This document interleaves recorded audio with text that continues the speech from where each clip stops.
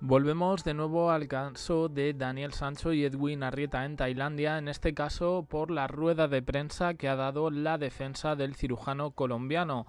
Triple rueda de prensa eh, organizada por el despacho de Juan Gospina con eh, la abogada tailandesa y, ojo, un abogado en Tailandia. El resumen es claro, eh, se van a personar en el juicio, pero además ha habido declaraciones contra el propio Daniel Sancho y también contra sus padres. Todo esto eh, a falta de unos días en los que se produzca finalmente la vista donde tendrá lugar la nueva aparición de Daniel Sancho donde se confesará o no culpable del crimen de Edwin Arrieta. Muchas cosas han llamado la atención, se está hablando de eh, determinados términos muy duros por parte de la defensa de Edwin Arrieta y más o menos, pero creo que os puedo decir un poco la respuesta de la otra parte. Empezamos.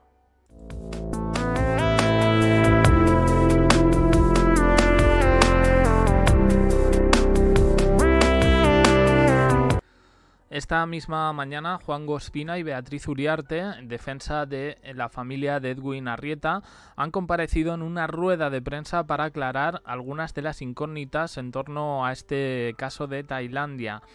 Daniel Sancho sabemos que sigue en la prisión de Koh eh, acusado y aún a la espera de juicio.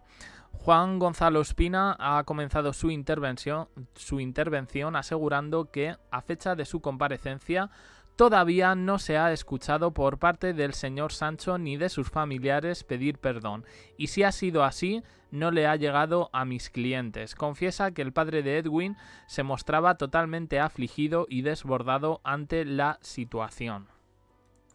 Bueno, primero aclarar dos cosas. Se filtró en su momento un mensaje eh, que lo hizo público la propia Darlene Arrieta, la hermana de Edwin, en el que la familia de eh, Daniel Sancho, bueno, pues mm, les mostraba sus condolencias y bueno, si no se pueden interpretar eso como disculpas públicas, todavía tenemos el primer viaje de Rodolfo Sancho a Tailandia, donde nada más salir de la cárcel, eh, bueno, pues pide perdón. Esto por un lado. El abogado ha hablado también sobre un hipotético traslado de Daniel Sancho a España para cumplir la pena aquí y dice que es un acuerdo entre los estados y habría que formular si no han existido todos esos elementos de perdón.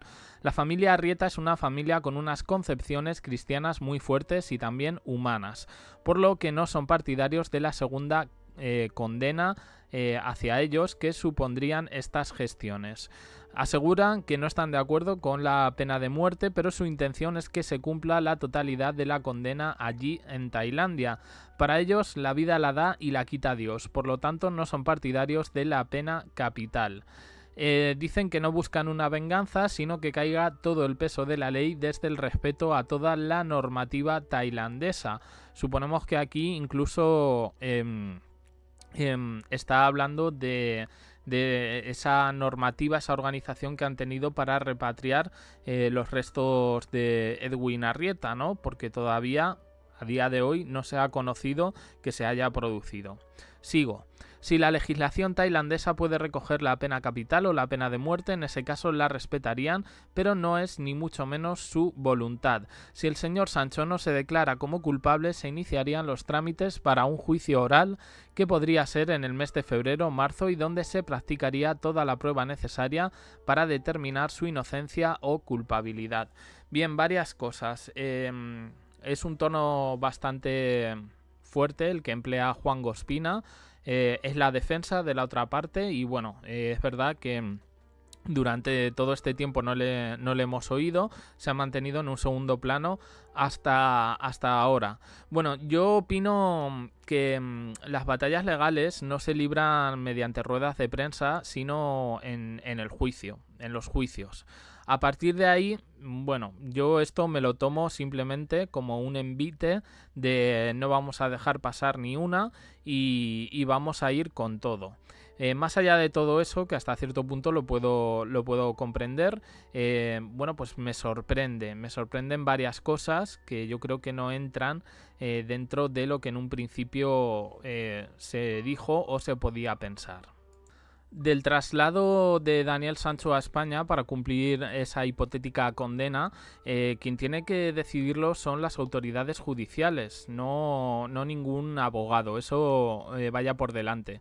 Eh, segundo, el tema de la religiosidad, bueno, pues ellos pueden pensar lo que quieran, como si son budistas, como si son sintoístas y, opinan lo que quieran. Al final todo se, se dirimirá en, en el juicio. Me sorprende estas posturas radicales, ¿no? Que de repente se está teniendo mucha gente eh, a favor de la pena de muerte, cuando creo que España en concreto es un país civilizado, ¿vale?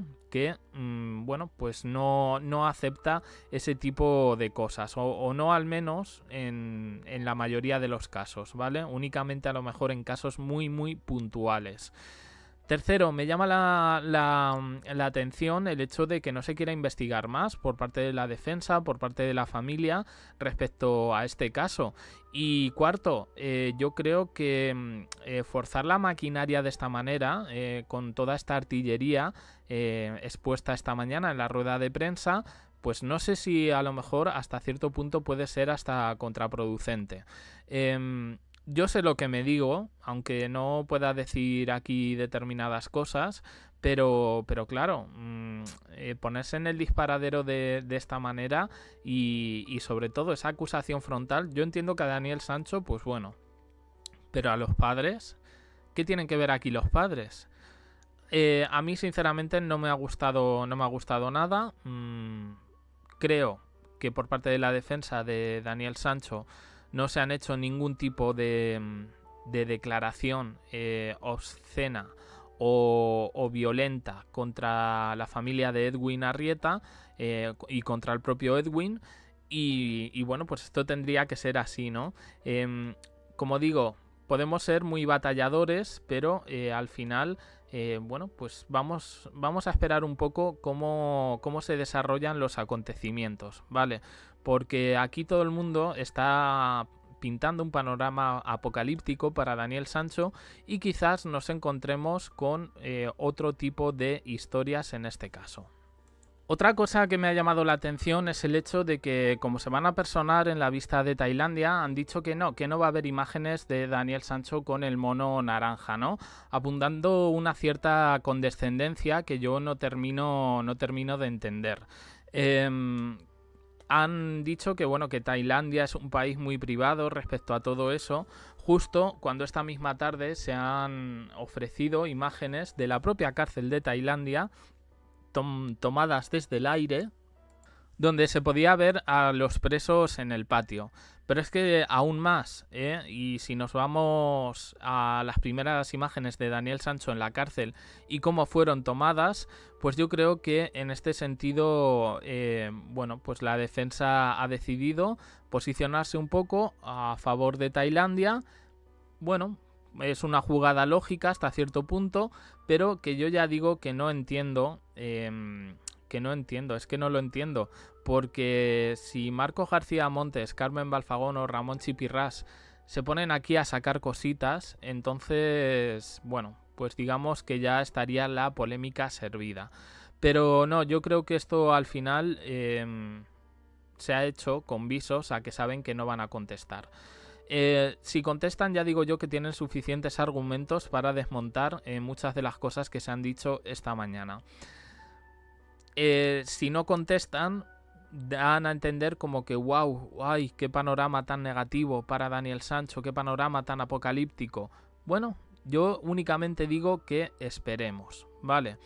Eh, a partir de ahí, bueno, pues ya se verán las cosas, si se declara culpable, si no, y sobre todo no hacer caso a estos mensajes tan catastrofistas que se están dando desde los medios Em, yo he dicho que en este caso eh, hay muchos intereses mediáticos, hay, mucho, hay muchas historias, ¿vale? Que si cogemos a cada uno de las personas que han salido en torno a este caso, pum, pum, pum, pum, y establecemos relaciones, pues a ver con qué nos encontramos, ¿vale? Quien, quien, me quiera entender es porque ya ha investigado eh, sobre, sobre, este tema mucho y sobre, todo sobre las piezas del tablero, ¿vale? Y yo me voy a quedar, me voy a quedar ahí. Y en este caso no estoy hablando ni de Daniel Sancho ni de Edwin Arrieta. Dicho esto, Desde el programa de Sonsoles Onega, bueno, pues miran un poco a ver qué es lo que pasa, ¿no? Eh, como no hay noticias, pues se vuelve un poco a lo mismo de este verano. ¿Que sale una presa de la cárcel? Ah, pues le entrevistamos.